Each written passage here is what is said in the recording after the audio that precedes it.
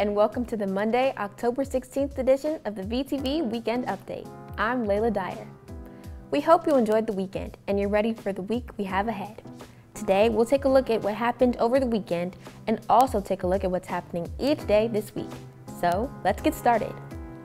On Monday, the Mathletes team will be practicing in the library with Coach White and practicing on Tuesday in G8 with Coach Sachs. Our next meeting is Wednesday October 18th at Bolingbrook. Please check the Google Classroom for information. This year's career fair is set for today from 8.30 a.m. to 3 p.m.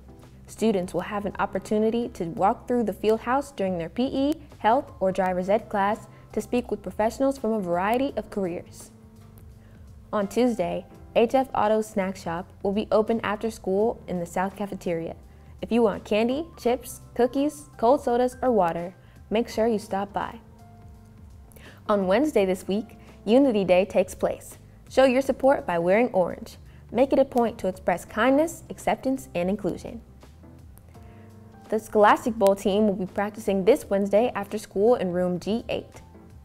HF Steppers competition season tryouts are October 18th and 19th from 3.30 to 5.30 p.m. in the South Cafeteria. We're looking for young men and women for our award-winning competition team. The Spanish National Honor Society's donation drive continues this week. Drop off donations to Miss Mazzola's room in room 224 in North Building or across the hall from South Cafeteria. Donations will be accepted until Friday, October 20th. And that's what's happening this week at HF. Now let's take a look at what's happening in the world of HF sports with Declan Klein. What's up HF? I'm Declan with all your sports announcements and scores. We had a few sports play over the weekend and we'll get into those in a second. Girls interested in wrestling should plan on attending the meeting in, after school at 3.15 in Coach Arison's room in 310 North on Tuesday, October 31st. Also, girls interested should make sure they have a completed physical. Co-ed cheer tryouts are this week on Wednesday and Thursday after school in the North Cheer Room. Make sure you have an updated physical and that you are registered on HA18. The girls volleyball team defeated Lincoln-Way East 16-25, 25 20, and 25 19. LaDonna Trantham had 11 kills while Skylar Skinner had 24 assists and 8 digs to lead the Vikings. Team improves to 23-6 on the season. Field hockey team won their first regional playoff game in over 10 years against Lakes Community High School by the score of 2 to 1. Goals were scored by Maya Perkins and Violet Quirk, and the HF defense was anchored by Rachel Griggs, Autumn Kimbrough, Victoria Plummer, and goalie Kennedy Hamilton. Football team beat Lincoln-Way West on Friday by a score of 25 to 17. The team improves to 4 to 4 on the season and 2 to 3 in the SWSC.